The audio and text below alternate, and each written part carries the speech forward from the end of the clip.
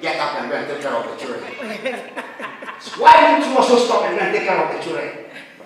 And when yours was on it like this, you were moving everything, heaven and earth to get there. And you have gotten there and you have got out and you don't want the woman to go. You keep your leg because you think she's a prostitute. She's not a prostitute. She has feelings and she also needs to satisfy her feelings. Let's help them to move in that area. Then there will be peace in your home. We need mercy in the bedroom. We Amen. need grace in the bedroom. Amen. If we have problem, let's sit down and let's talk. Mm. If you are short and you're hallelujah, you don't go long distance, let the woman understand. Mm. So that you can do more of what? Play. Mm. You play together. Amen. So that when you play together, before you get there, the woman will get to a point. So that she can also what? Embrace it to move on. Mm-hmm. Let us not just push them, then we leave them there. Mm-hmm. It affects them psychologically. Yes. A lot of things come into their mind. They sit down and they ask a lot of questions. What is it that my husband? They, they see meeting somebody outside or what is happening. They cannot share it with anybody because it has to do with the bedroom. It takes a mature person who understands this to sit with the woman down. So that is the problem. And we need to come to the point to understand that some of these things need the leading of the Holy Spirit. We must understand our women, how they do certain things. Why they behave at a particular time of the month the way they do? If we can understand them, we have peace at home. If we don't really understand them, it will be very difficult to live with them. And that will create cracks in the wall. And that is the marriage. There will always be what? Cracks. And every thing, there's problem. There's tension. And you don't know why she's behaving that way. Like because of what is happening in the bedroom. So anything you do, there's a transference of what? Aggression. Bam! She talked to you anyhow because a lot of things are coming into your mind. So she cannot even give you that respect because you are not taking her for what? Who she is in the bedroom. So she tried to vent every anger and pain. Let's deal with them with wisdom because they are weaker what? Verses. Holy Spirit, have your way. Now, so it's a good thing to thank God because that is what we need to do. Amen. Amen. Is it a good thing to thank God? Yes. Amen. Right. Let me see if I'll be able to flow. In Jesus' name. Amen. Amen. Now, what I wanted to say, I want to talk about thanking God for all that He has done for us throughout the year. Amen.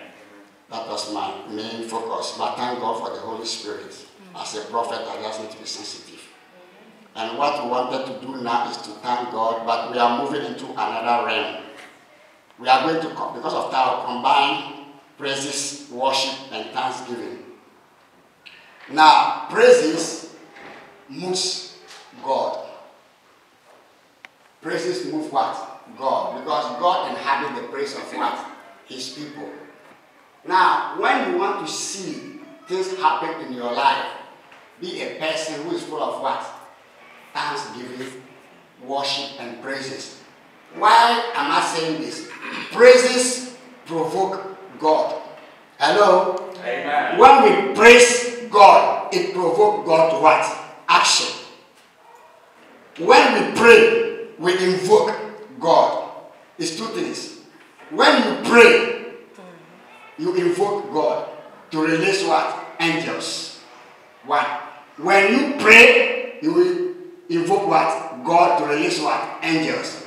But when you praise God and worship Him, you provoke Him. It's two things invoke and provoke. You provoke God to calm down Himself. Mm. Prayer, angels are released. He invoked them and they come. When you praise and worship Him, God comes into your situation Himself.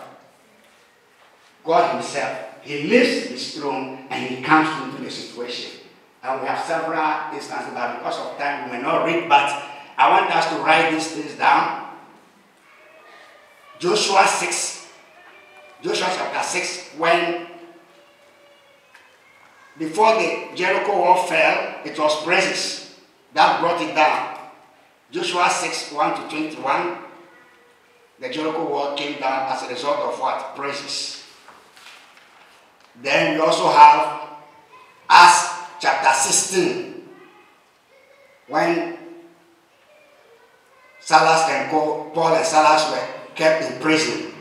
They decided to praise God at midnight. And whilst they were praising God in the midnight, the power of God fell in the prison. And what happened? They were released from prison. There was an earthquake. Acts 16 25 to 26. Hello? Amen. Acts 26 25 to 26.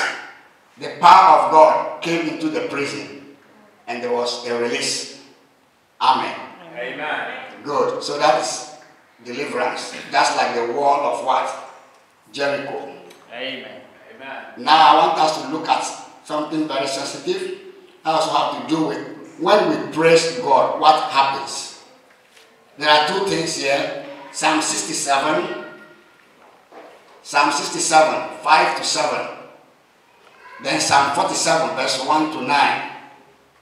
When we praise God, He releases increase and gives us what? Dominion. Praises guarantee increase. Praises also cause wonders to happen.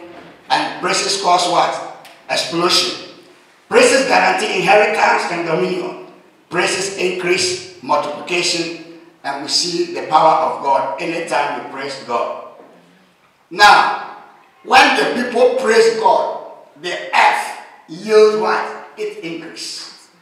When you want to see increase multiplication in your life, praise God. God will come into your situation. Amen. When the people praise God, the earth yields what? It increase. Amen. So if you want to see increase in every area of your life, begin to praise God. Begin to worship God. God will turn the situation around.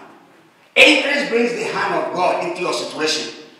Because when you praise God, you see increase. And when you see increase, that shows that God is with you. Amen.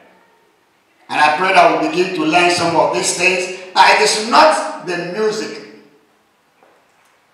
No, it's what you bring out from you. It's like, bless the Lord,